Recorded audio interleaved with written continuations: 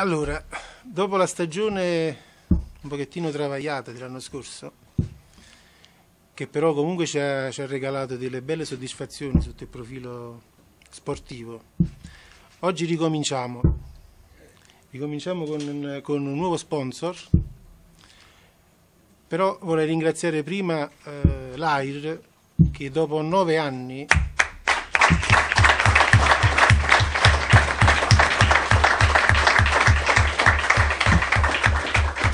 dopo nove anni ha fatto un passo indietro, nel senso eh, comunque resta un nostro partner importante e grazie alla, alla professionalità e al,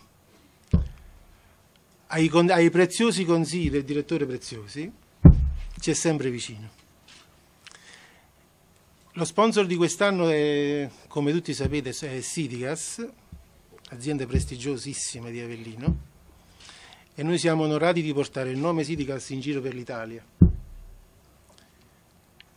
speriamo che con i, risultati sportivi possiamo ripagare la fiducia datoci dall'azienda.